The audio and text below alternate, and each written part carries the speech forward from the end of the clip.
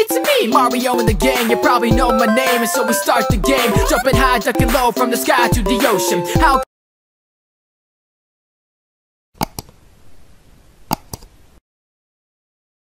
What's up, bro? This is Next Arms, and we're reacting to movie sequels by the ones out, uh, the the one, the odd ones out, um, because he he made this about an hour ago, but I was asleep, so I'm not gonna react to this. So that's why my eyes might be drowsy a little bit. Um, so yeah. Also, he makes cool animations and stuff, so you know this is a news video, so I'm not gonna react to it. So, anyways, don't forget to hit that like button and subscribe button, turn on notifications hit the hit the bell to get five hour note. Comment when we're reacting that's how next episode. So anyways, let's get to the video. Hold up. Let's just get to the video and cut up three, two, one. We are back range. We are back range cheese ah, me, Jaiden, Thomas, Ross, and Aaron are all going on tour doing a show called Scribble Showdown. We're going to these cities on these dates. So if you want to see us play some drawing games live, you can go to scribbleshowdown.com, link in the description. Okay. Please. Okay, enjoy the video now. Do you all remember that classic kids movie made in the 70s about a pig and a spider? Yeah, Charlotte's, Charlotte's Web. Web. Remember how it made us a lot of money? Wait, didn't yeah. we already have this conversation?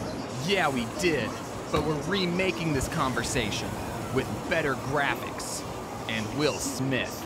Yeah. But why would we wow. remake something that's already good on its own when we could be making something totally original? Because, Ethan, we don't want to take risks, and this will make us more money. That is true. obvious to the audience that we're only doing these remakes for the money? For a cash grab.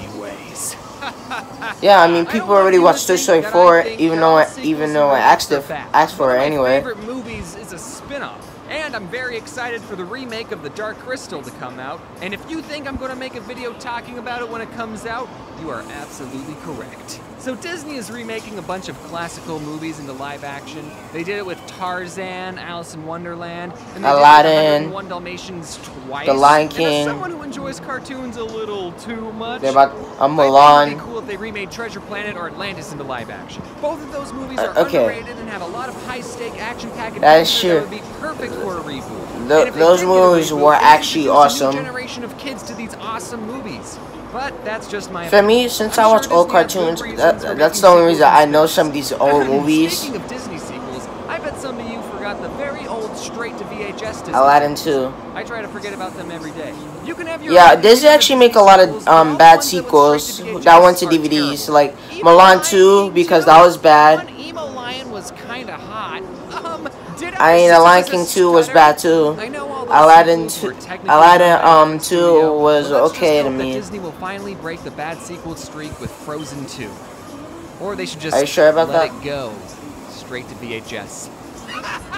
Some franchises like Harry Potter I actually or Rings have long overarching stories that are designed to have multiple installments, and as long as the studio doesn't stretch out one book into three movies, then those types of movies are absolutely fine. But I don't want to talk about those movies. Well, I never watched Harry Potter actually, so never mind. Films. Now, I believe that a sequel to a standalone film can be done, but it's a delicate process. Because in the first movie, you establish the characters and the world they live in, then the protagonist has to overcome a problem, usually defeating a villain, and then mm the mm-hmm. characters live happily ever after, and the story is all wrapped up nicely with a bow, and just what a what a nice story we got there. I'm just I'm just gonna set it down and watch it from time to time and not change it one bit. But then a sequel comes then the sequel. Says, oh, you thought the characters lived happily ever after? And then rips off the nice bow and says there's another more no, evil villain. There's another villain. In the first movie for some reason. If a sequel turns out bad, it can devalue the original movie. Actually, some movies actually go then go to to shows. If I noticed that. Mulan 2, or Hunchback 2, or Aladdin 2, or Cinderella 2, or Beauty and the Beast 2, or Tarzan 2 because they didn't happen. Okay, Beauty and the, Be Beauty and the Beast um 2 is actually is a bad movie because of the animation. Alright, every Disney sequel that went to that went straight to DVD ha actually had bad animation, except for Aladdin and probably The Lion King. But I'm just gonna say trequels. You see, DreamWorks has a track record of creating amazing sequels. That is true. But pretty subpar trequels. Here's what also I mean. bad sequels, like Shrek, like Shrek 3 In my opinion, these reviews are objectively correct facts, and also, I just want to say I know that these movies are kids' movies, but I like animated movies more than real ones. And I'm a cartoon too. character, so Shrek 1. Great movie, great characters, great message, 10 onion layers out of 10. Shrek 2, Two it's was awesome. movie in history to be better than the original, and it created the best music video of all time. I need 11 heroes out of 10. Shrek 3, trash. Hmm. Trash. Okay, I know we might Shrek all for agree, forever, even forever was actually 1 is a awesome. Perfect movie. Any movie with anthropomorphic animals is always a win in my book. I think we have a best-selling franchise on our Panda Pods. Kung Fu Panda 2, just as good as the original. That was good. How many sequels have an animated bird as a villain? Besides Stuart Little 2. So far, we got tens across the board, but then Kung Fu Panda 3 comes along and... I'm sorry, Jablinski, I just wasn't feeling this one. Which is why I was so... I mean, that was kinda good, though. Dragon 3.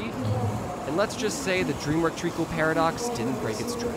However, How to there's Train Dragon is a series. Uh, it was one of the best, um, Paradox, and it um, best franchises. Works. And that franchise is Madagascar.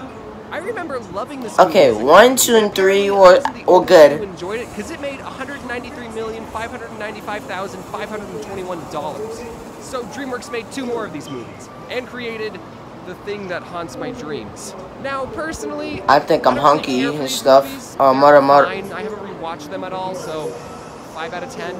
But there's another movie in this franchise. A movie that shouldn't be as good as it is, and honestly, I'm a little With the Penguins movie? It might make the list of my top five favorite movies. I don't think enough people are talking about this movie, so I'm going to be the one who breaks the ice. That metaphor is relevant because we're talking about Penguins of Madagascar. Penguins Okay, now that was Madagascar is the good. best movie that To me, that was good. To me, that was good.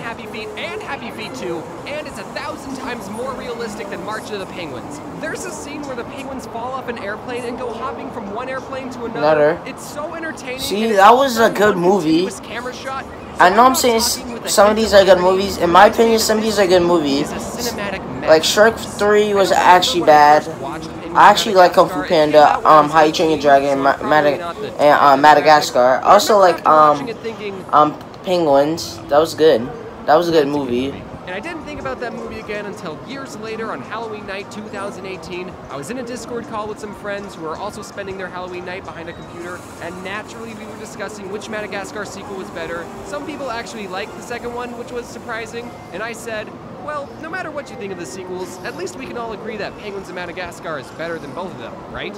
And everyone in the call was like, what are you talking What are you about? talking about? And instead of watching They- they- they haven't- they haven't heard that video. a movie about. They haven't heard of that movie, I believe. Okay, let's talk about another studio, Pixar. Pixar movies do a good job at appealing to a wide audience. See, they got Kids Toy them Story, Cars. Alright, Cars was trash. Cars like 2 and 3 was trash, okay. Pixar has made has Mon- Monsters Inc. um franchise. That was good. However, is not one of those emotionally inducing movies. It doesn't teach a thought-provoking life lesson. It's an hour and a half of penguins fighting an octopus, and I love Octo- it. Every morning when I watch Penguins of Madagascar, I feel like a kid again. I am jealous of the writing in this movie. Okay, there's one fart joke, but that's my only complaint. Okay. Now, do I think Penguins is better than all of these Pixar movies? No, Okay, not. a good movie could have a fart really joke, good. alright? To me, it's fun. when it clearly deserves a 10. I don't know if this video convinced you to watch Penguins of Madagascar, but if you're retroactively looking for the next summer blockbuster movie to watch, I already watched it. I- recommendation. I've been watching it. being sponsored by To me, it was good. To me, the- wish. um, Penguins is actually good. This video, I just wanted an excuse to talk about my favorite DreamWorks spin-off. So, in conclusion, I'm really excited for The Dark Crystal 2 coming out on Netflix. The show's being released on August 30th, which is coincidentally this channel's five-year anniversary. Wow. So don't expect me to work that day. Alright. Okay, admittedly, this video went off the rails a tiny bit. I'm sorry. Hey everyone, I feel like I always say this, but I know it's been a while. Mhm. I did a lot of shows recently, like Scribble Showdown, which you might have heard of. I'm going on tour in early October, so click the link in the description for more information. I know it's summer when I post this video, but I don't post that often, so I probably won't get another chance to tell you that there's some back to school bundles in my merch store if you're one of those people that goes to school. Big thanks to everyone who worked on this video. I couldn't have done it without them. And a big thanks to you for watching Yeah, me. yeah, guys. Um, a lot of channels are now selling um back to school merch. Even though even though it's it's not even August yet, September. Dislike The Lion King too. I'm sorry. I'm really tired and I want to get this video done, so I'm just going to wrap up this end card and wear your seatbelt. Think that was video. Um, so yeah, for for me, um, I, Shrek Three was trash. Um, I did like um Shrek Forever even. Um, Kung Fu Panda. Um, I did like one, two, and three. Uh, let's see what else. Then he also talked about um penguins in Madagascar, which honestly, the show to me the show they had on Nickelodeon was awesome, and to me the movie was awesome too. Even though I had one fart joke, but whatever. Um, then Pixar. I mean, they they keep the only reason like movie companies are making movie sequels is because they're running out of movie ideas.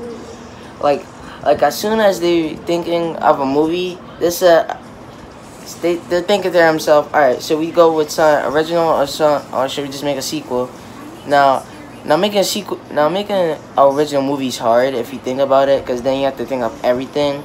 So sometimes when they said, all right, right now we need we need a movie that will actually give us money. They said, how about we just make a sequel of from another movie? So you know that's what Toy Story 4 did, and looks like they're making more sequels later. But I mean, hey, at least they do have um, original movies now, like Onward and stuff. So yeah, at least at least they're actually getting original movies out. Like Pixar is actually doing it. Disney, I'm not, I'm not really sure, and other movies, I'm not really sure. Oh, and Blue Sky um, Studios, because they they get they got um Spies in Disguise coming out too.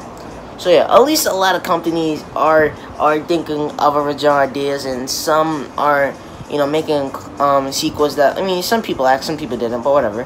So guys, that was the video. Hope you enjoyed the video, guys. Please hit that like button and subscribe, and I don't you can see my was getting five out in the video. Comment on my reaction next time. So guys, let's get to so guys, that was the video. I'll see you bros later. Bye.